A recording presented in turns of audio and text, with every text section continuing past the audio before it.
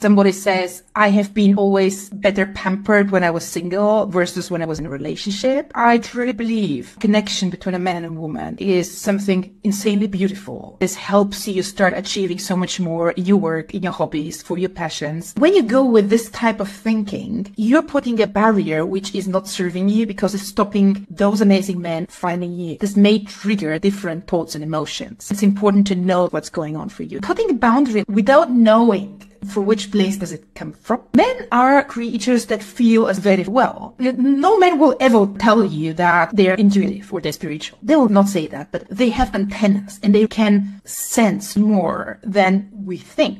And a male brain will translate this gut feeling into a logical conclusion. Of course, we have to see also the life from the lens of man. When you take over ownership of your future, you become the leader of your life. So what they explained me was, Juliana, when you go on a corporate event or bigger meeting, I want you to watch who is doing presentations and who is taking decisions. You're the person who is sitting there and deciding, is that project result okay? Or do they need to go back and rework their work? Truly the person in command. When you let men surprise you, show you what they can, some of them will be great project managers and other will be not a good project manager and they will fail, right? Do you agree with me? You have so much control when you decide to be in control of your love life. I want you to put on the CEO hat of your love life.